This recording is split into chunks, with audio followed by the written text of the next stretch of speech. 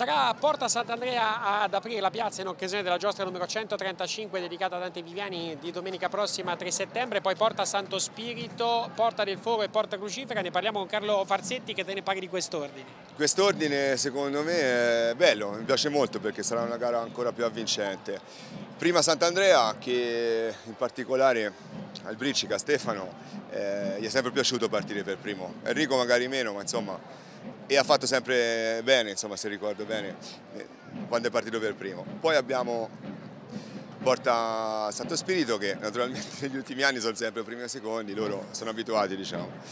Porta del Foro Terzi con l'esordiente Gabriele Innocenti, un garista quindi Andrea Vernaccini è bravo e Gabriele diciamo un esordiente ma per modo di dire. Eh perché l'ho visto, ho avuto la possibilità di conoscerlo per Montisi e vi posso dire che è un ragazzo veramente determinato e bravo. Ultimi invece Porta Crucifera che vengono da una giostra di giugno tutto sommato molto bella perché ricordiamo che Gabriele Carboni eh, era arrivato da pochissimo con un sacco di polemiche al quartiere e nonostante tutto ha fatto una bella carriera. Idem Filippo Fardelli che ha fatto secondo me la più bella carriera eh, delle, delle giostre che ha fatto, quindi può fare solo che bene e migliorarsi. Ecco.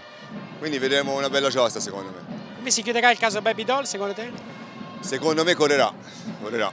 Vi aspettiamo allora poi tutti i giorni anche con Carlo per eh, dentro la giostra ogni sera alle 21 le prove da Piazza Grande.